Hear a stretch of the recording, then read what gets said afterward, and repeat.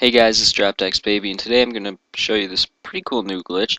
It's how to copy somebody's emblem after the recent update that they released. So you're going to want to have a friend, or whoever you're copying the emblem from, sit in a multiplayer menu, but it's a multiplayer menu before you can create a class. So you're going to want to scroll down to their name, and then press X to join.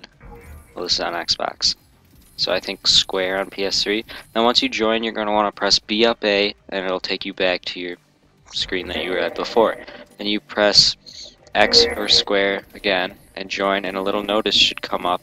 You just press A on it to make it go away, or X or PS3. And you keep joining, and the notice will keep popping up, and then you just keep doing what I told you to do. And then once you join, you press B up A, then you keep doing this 5 to 10 times or as many times as it takes you. Tops 20, I'd say. But you just keep joining and then backing out. And then eventually, after doing it so many times, they'll just give you their title and emblem. If you like this glitch, please drop a like on my video, and if you're not already subscribed, please subscribe. I post glitches practically daily.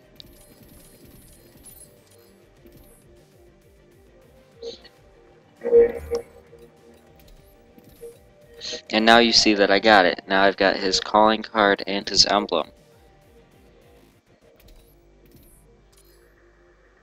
And it sticks after you turn off your Xbox or PS3.